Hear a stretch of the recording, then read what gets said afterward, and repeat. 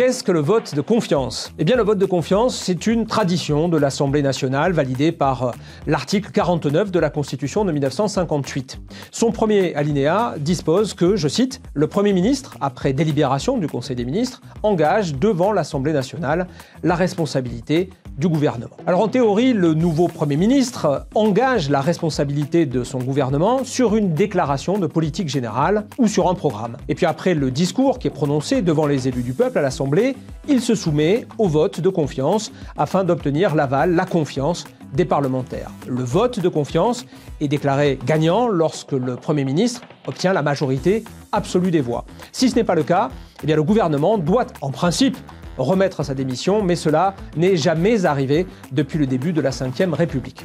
Alors cette procédure n'est pas obligatoire, elle reste une formalité. Le vote de confiance est toutefois euh, perçu comme une main tendue aux parlementaires puisqu'il apporte au nouveau Premier ministre la légitimité directe des élus avant euh, de commencer à exercer véritablement sa fonction.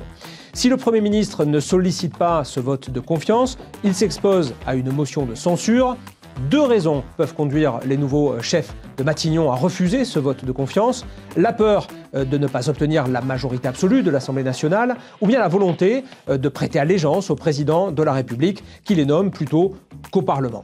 Alors il faut savoir que dans l'histoire de la Ve République, 8 premiers ministres sur 25 n'ont pas sollicité le vote de confiance. Georges Pompidou en 1966, Maurice Couve de Murville en 1968, Pierre Mesmer en 1972, Raymond Barre en 1976, Michel Rocard en 1988, Édith Cresson en 1991, Pierre Bérégovoy en 1992 et finalement Elisabeth Borne en 2022.